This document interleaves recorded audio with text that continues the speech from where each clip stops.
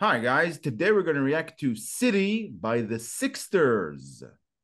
This is a Buy Me a Coffee request from Dan LaMarche, first time requester. Thank you, Dan, for making this request. Thanks, Dan. We appreciate the support.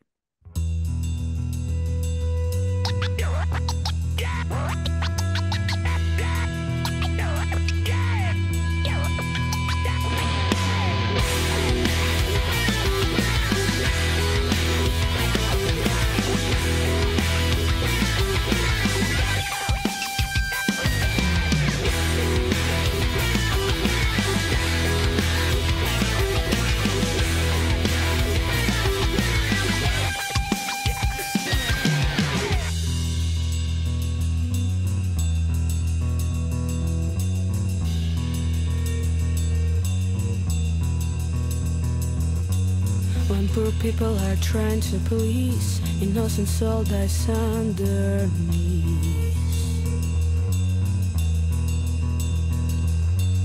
The world around is not your dream, and moral ruins you see are real.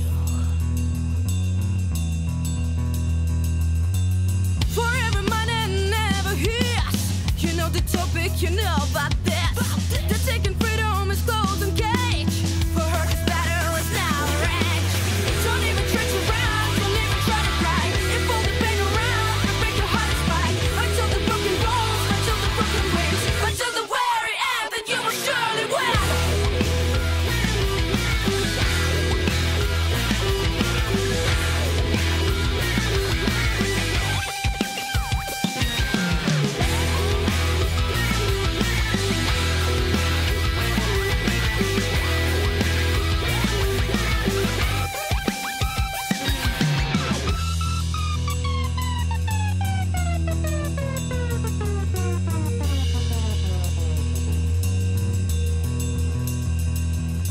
This is different from Feels, the first song from the Sixsters we reacted to. I kind of get the feeling it's actually a very pleasant feeling because they're relatively a new band. I get the feeling that they're trying to find their sound. It's not a revelation or anything, but I can hear it in this song. It's a cool thing to witness. I mean, w- with a new band, especially when they're uh, this proficient. And the lead vocalist's voice is becoming more and more recognizable, even though we only heard her once. It's a very cool song.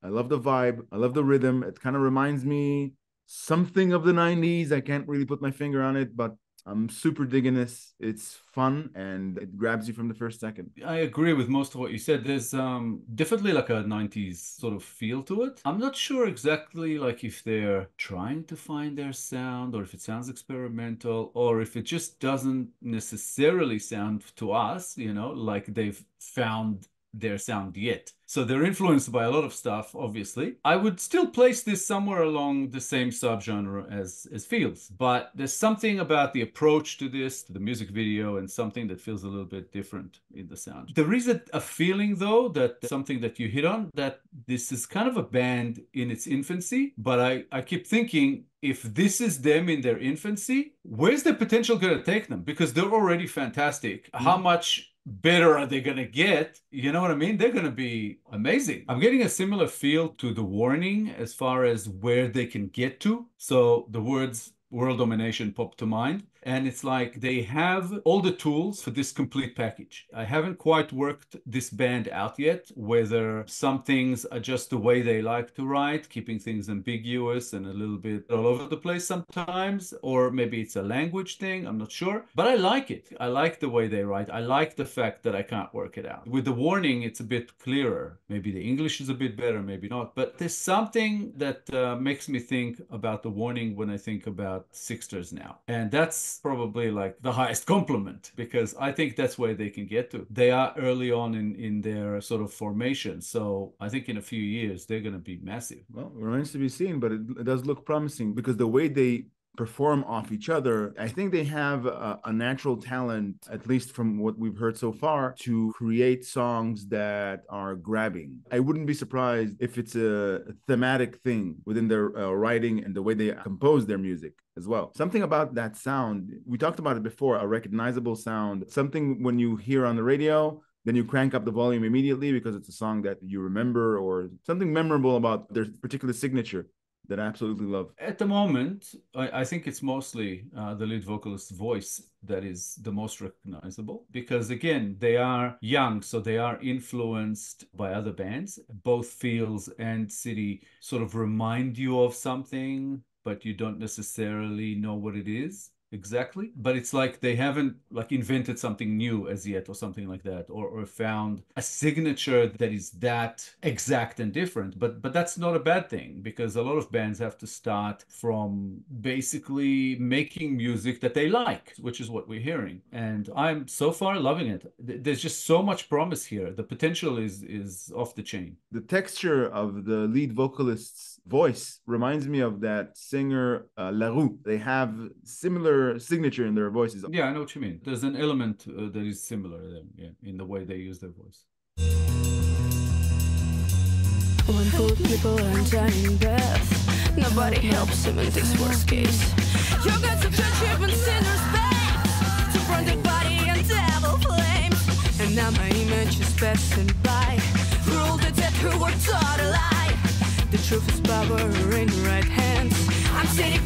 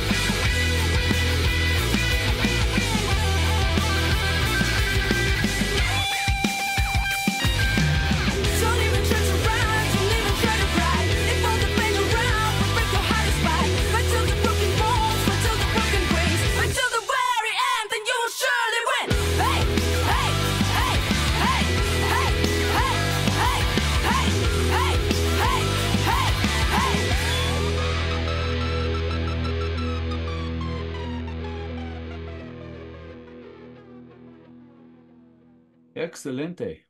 Beautiful. in both fields and here in city um, there's one thing that probably worth noting is that after listening to both songs i just love their energy it's really fun it's really cool there's something really cool about them i just think that the uh, sky's the limit for this band As I mentioned before, because I kind of feel that they're trying to find their sound, their particular signature. As you said, it feels like they're a band at its infant stages.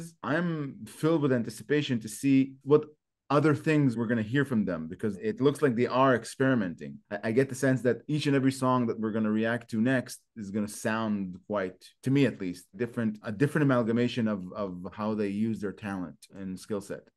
Beautiful. Regarding the lyrics, we've uh, experienced this in fields as well. It feels like that they're fond of ambiguous writing, call it. Uh, it's not something you can immediately identify as you uh, listen to the song or even if you uh, uh, look through the actual lyrics. I am having trouble to hone in on what they're trying to say, and I think it's deliberate. It feels like they're trying to create an intriguing sense of confusion. It feels like a form of a riddle, trying to encapsulate the entire song, judging by certain lines that caught my eye. When the song starts, when poor people are trying to please, innocent soul dies underneath, the world around is not your dream, and moral ruins you see are real. Because we know they're Ukrainian, uh, what I read so far kind of had me thinking about the war. I mean, they can't not be influenced uh, by the war that's going on there. Maybe wrote that song about that, but it's ambiguous enough to get you thinking. What does it mean? Uh, the world around is not your dream. Maybe they mean uh, reality won't align with what you wanted to.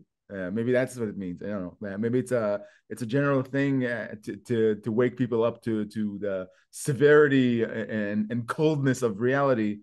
I don't know. I've said this before. I think that the writing style leaves um, things open to interpretation. Even though I can't pin down a meaning that I'm sort of locked in on, I actually like that. It makes me think every time I read it. It gives it uh, um, an ambiguous feel that I actually enjoy. And I think that um, they engage in what is sort of my favorite thing about writing, which is subtext. They say something that might relate to something, but the true meaning for them, it, it could be something else. As, as you said, because we know they are from the Ukraine, and with the situation there with the war. And we know that they fled the country. I think they are now in Germany. We try to kind of place that onto the lyrics because we know, you know, who's behind the song. But at the same time, I also try to think, what if I didn't know? If I didn't know that they were Ukrainian, if there was no war, if those words were just coming at me with no uh, context, how would I see it? That first verse you read, you know, when poor people are trying to please, innocent soul dies underneath, the world around is not your dream, and moral ruins you see are real, got me thinking about social media, the current uh, world politics,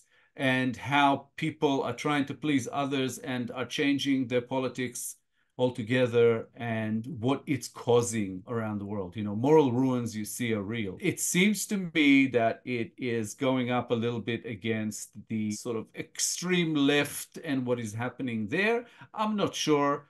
Maybe that's just me. And again, like you say, it's very possible that this is about the war and about all of that. It goes on from there to say, forever mine and never his. You know the topic, you know about this. The taken freedom is closed in cage. For her, this battle is now arranged. So again, that could be talking about freedom around the world and what is happening around the world and with social media, with social politics, with left, right, and everything that's going on. And it could be just about the Ukraine and Russia and what's happening there. It's a tough one. Reading further into the lyrics, the things you think about can either strengthen, you can either go into that direction and, and find other things. Because if you're looking for something, you're gonna find it, even if if even if it's not there. Because the chorus says, "Don't even try to run, don't even try to cry. If all the pain around will break your heart as spike," which I'm not sure what that means. Uh, fight till the broken bones, fight till the broken wings. So broken bones, I get it. Broken wings, uh, a metaphor for freedom fight until you know You lose that freedom. You lose that freedom. It's it's okay to lose that freedom to, to win the fight. Not sure what that means. We've said it in the past about films. The measure of a good film is if it stays with you after you've done watching it. This applies the same uh, in song form. The material here just sticks with you because you have to delve deep into your imagination in order to try and, and find what they mean. I think that's the funnest part about that song, that it gets your brain cranking thinking in different directions. What you said before about references to world politics, other lines in there caught my eye in a fashion that strengthened that notion. There's a message here, but I can't really make it out, or there isn't only one interpretation for it.